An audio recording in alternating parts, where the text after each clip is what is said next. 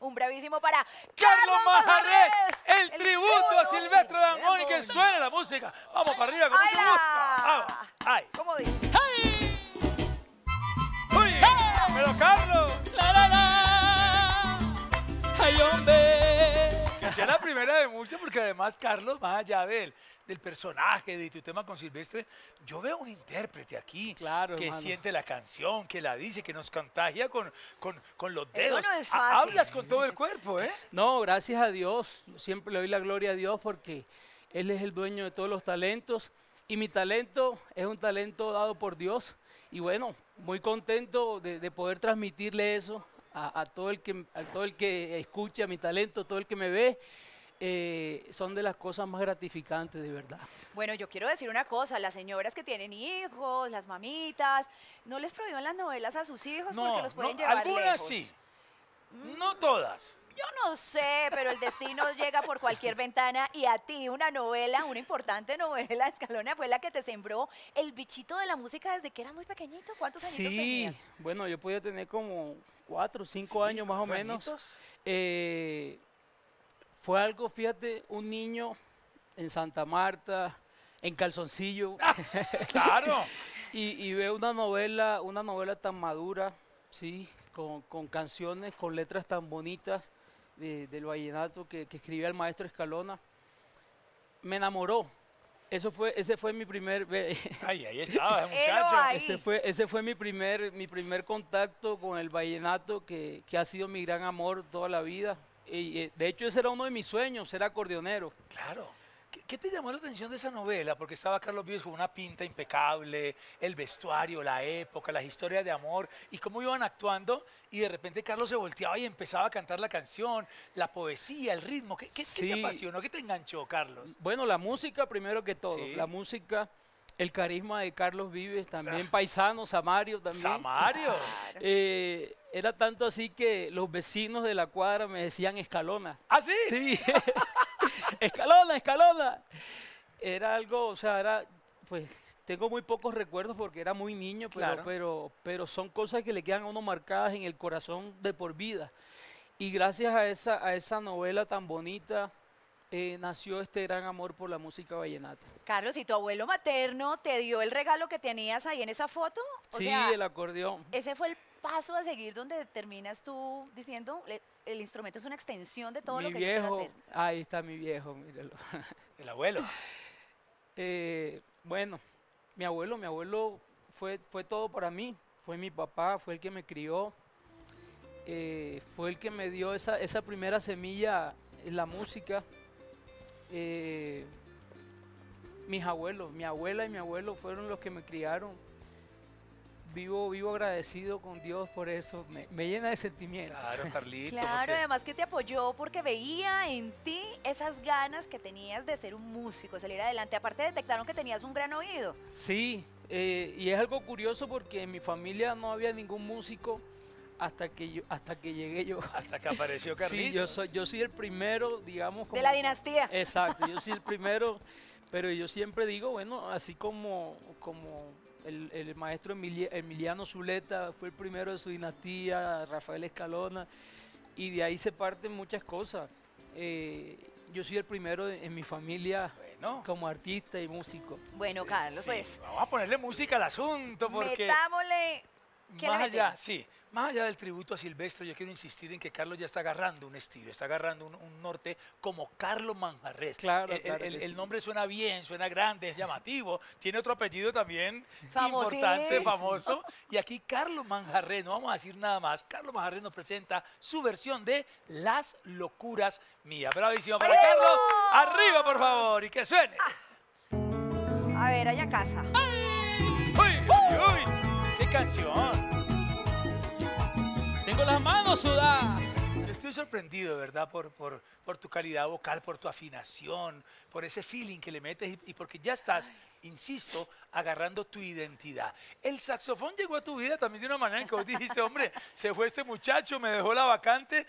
¿Quién quiere el saxofón? Voy para esa. Y Carlito levantó la mano. Hablemos de esa historia que bueno, muy hermano, linda. eh, todo arranca en el colegio donde estudié en Santa Marta. Yo- colegio muy musical, ¿no? Sí, Además. sí, sí, sí. Gracias, gracias a Dios. Un colegio muy, muy musical. Ateneo Moderno. Ateneo Moderno. Saludo a todos mis compañeros ateneístas. Ay, Promoción Ateneístas. 2004, ¿ah? No, Y ¿cómo? gracias por hacer talentos Sí. de este calibre. Y al muchacho que se fue, que se fue, gracias, Gracias por haber dejado esa De hecho, de hecho, ahí estudió Carlos Vives también. ¿Ah, sí? Claro, también estudió Carlos Vives ahí. Una institución. Eh, sí, claro. Bueno, yo inicié en la parte de la percusión folclórica, me gustaba mucho el ritmo, siempre me ha encantado.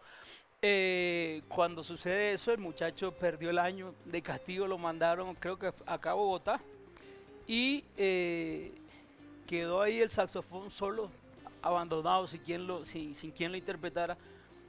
Y cuando yo dije, yo lo voy a reemplazar, yo lo voy a reemplazar, y llegó eh, al año siguiente la profesora, ¿quién quiere, ¿quién quiere aprender a tocar saxofón? Yo me levanté yo.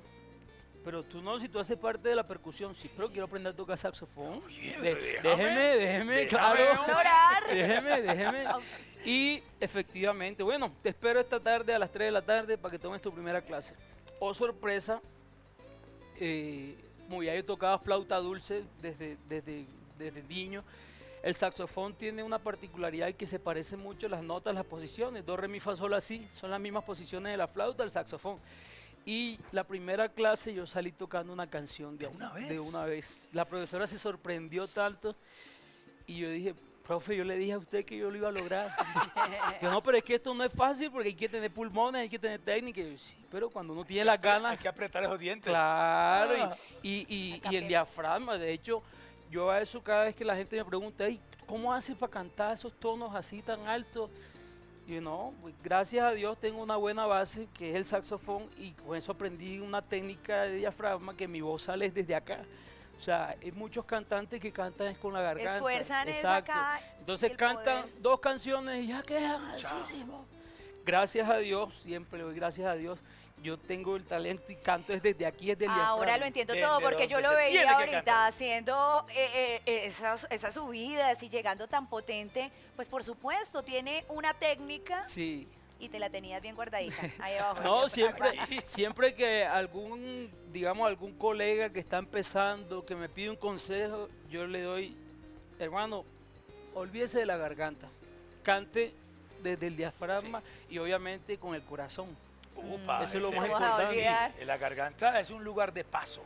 Sí. Las cuerdas están ahí, pero la- el impulso La fuerza, claro. es desde acá abajo y eso se le nota. Como, deci- como decían por ahí, la que empuje la barriga. La que empuja la barriga. Tomas una decisión en un año importante, trascendental de tu vida y dices, voy a Bogotá, voy a buscar un horizonte y vives esa dinámica de los bares, de las discotecas que a mí me parece necesaria. Sí, Me claro. parece chévere porque te crea como un callo, como el manejo de la y gente. la Cancha, sí. cancha, La cancha, que, la cancha que no tiene precio y- cancha, y que no se compra en una universidad. Sí, Carlos. así es, hermano. Eh, bueno, después de, de- de- de varios altibajos en Santa Marta, eh, no se me daban las cosas como cantante. eh, estuve en una agrupación, me sacaron, volví otra vez a mi saxofón, no sé qué. Y tomé una decisión radical. Me llamó un amigo, hermano, tengo este, este, este proyecto aquí en Bogotá para trabajar fijo en varios bares, no sé qué. Te vas a ganar una buena platica. Y yo no lo pensé dos veces, yo dije, listo, me voy, voy a luchar por mi sueño. Eso sí, yo quiero que me conozcan allá es como cantante. Yo no voy a llevar saxofón porque entonces de repente No, donde me, te lle- escuchen. me llevo el saxofón y la gente me engancha con el saxofón. Te encasillan ahí y tú Claro. querías otro Pero qué decisión esa, ¿eh? Sí, sí, total, total. Es una decisión, es una decisión eh, contundente Y sabia, inteligente, porque pues, tú mismo tienes que darte... y, y arriesgada, ¿no? Porque pues yo decía, bueno, y si no se me da con el canto, yo no voy a llevar saxofón. O sea, o es con el canto o es con el canto. No tengo otra opción, o, o, mejor dicho. Y bueno, gracias a Dios, eh, siento que fue la, la mejor decisión, la más acertada. Eh, de ahí empezó un proceso aquí en Bogotá hace 10 años, bueno, sí, ya, ya 10 años, 10 llegué en el años. 2023, en el 2013, perdón, llegué en el 2013 a Bogotá, han sido un proceso de 10 años de mucho esfuerzo, de mucha lucha constante, de mucho sacrificio y también, pues obviamente, de, de altos y bajos, pero bueno, aquí estamos firme como Pues, la mancha, como la mancha plátano. Te voy a pedir una tuya. Ah, de nuevo nos vamos a meter ya en el, en el Sí, camino una de Carlos por Manjarres. favor. Antes de que nos cuentes la llegada, yo me llamo Soy tu dueña. Soy tu dueño. Tu dueño. Soy tu dueño. Bueno, Soy tu en, e- dueño. en ese caso diría soy tu dueña. Sí, Ella la si adaptó la ella. Ah, bueno, por Sí, sí, supuesto, claro pero que es soy tu dueña. Aquí está. casa. Carlos Manjarres. Coge el trapero, señora, si no hay con quién. Yo soy un viejo zorro. ¿Qué lo ve? Hombre, ¿qué va? Eso era antes, ya me juicié. Queríamos simplemente hacer una primera aproximación con esta familia Bravísimo. Que te conocieran como Carlos Manjarres. Yo creo que las otras etapas ya están, ¿cierto? Se pasaron, se vivieron. No vamos a hablar mucho de eso, sino del presente de este artista que Por te- supuesto. siento yo que tiene una proyección Fueron grande. escalones importantes en tu vida, el paso por los realities que te dejaron visibilidad ante todo un país. Conocieron tu es. talento y ahorita lo que tienes es que aprovechar Sí, claro. tu imagen, tu energía, tu voz, tu carisma y, y terminar de cautivar corazones. Gracias a Dios. De hecho, eh, mi álbum musical lleva por título Yo me llamo Carlos Manjarres. Me encanta el título, ¿eh? Me gusta. Claro, claro. Eh, mira que por cosas del destino, bueno, cosas del destino, no cosas de Dios, me quedé por fuera de ese reality porque ya tenía un concierto en Ecuador. Yo dije, bueno, yo puedo, cuenten conmigo, pero lo único es que yo para el- la fecha tal ya tengo un concierto en Guayaquil, en Ecuador, ya tengo tiquetes comprados, tengo anticipo, ya hay un contrato, claro. Me dijeron, no, no se puede porque aquí este va a ser un programa que lo van a meter en una cápsula, no sé qué. Pero esperemos a ver. ¿Sabes que lo- los, la la- los productores no dan mucha información? No, todo es un misterio. Sí, exacto. Entonces, bueno, espere y espere y espere. Y el día de mi cumpleaños, precisamente, me llaman y me, me enteré por otros compañeros que sí estaban en el reality. Y yo, ¿cómo así? O sea, todo el mundo hablando de la vaina y de mí que me dejaron por fuera. Y llamo a los productores, me dicen, no, hermano, te quedaste por fuera. Y yo, ¿cómo? Día de mi cumpleaños, imagínate ese No, baldado de agua, porque, o sea, son, son todas las ilusiones, ¿no? Porque, como les digo, la televisión refresca, siempre es bueno. Pues hay mucha gente que dice, no, pero tanto reality, pero sí es bueno, sirve Sí, mucho. Suma. Y eh, para ese reality, pues obviamente yo iba a ir como, como yo me llamo Silvestre Dangón. Entonces me cae ese baldado de agua, me metí a la ducha y empecé a llorar y a orar, a hablar con Dios. Muy, o sea, triste, sí, porque muchas veces pues no comprendemos cuáles son los designios de Dios y los planes que tiene para con nosotros. Y yo sentí que me habló y me dijo, es que tú no te llamas Silvestre Dangón, tú te llamas Carlos Manjarres. Y tienes un trabajo que vienes haciendo durante año y medio, ¿sí? Entonces, tú no te llamas Silvestre Dangón, tú te llamas Carlos Manjarres. Y yo dije, bueno, ese es el título para mi álbum. Yo me Yo llamo, me llamo Carlos Manjarres. Manjarres. Pues nosotros bendecimos esta carrera en este momento Amén, porque hermano. hemos sentido aquí buenas cosas. Amén, amén. Buena energía, la presencia de Dios, tu talento, tu carisma, tu fuerza para interpretar. ¿Nos pusiste a bailar? Sí, de verdad tienes todos los ingredientes para triunfar en este mundo musical.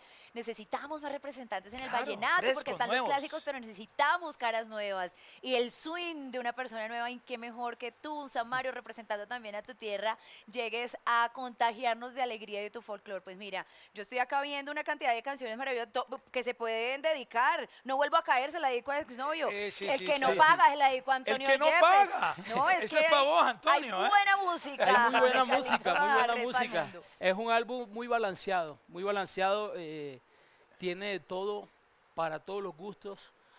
eh, tiene picardía, tiene sabor, Sí. tiene sentimiento, tiene despecho, tiene amor, romance. Y tiene la esencia de Carlos Manjarres. por supuesto. Grábense este nombre. Carlos Manjarres, la voz fresca del vallenato. Ay, Hermano, mira, mira que La voz fresca del acabo, vallenato. Te acabo- acabo de bautizar, ¿eh? Gracias, hermano, gracias. Y acabo de tener también un déjà vu con, esa frase que dijiste, grábense este nombre, Grábense. Carlos Manjarres. Resulta que por allá en el 2000, año 2007, en Santa Marta, estaba con mi, mi mejor amigo, mi hermano del alma, y estábamos tomándonos una cerveza en un estanco. Y de repente apagaron la música, se acabó todo, cerraron.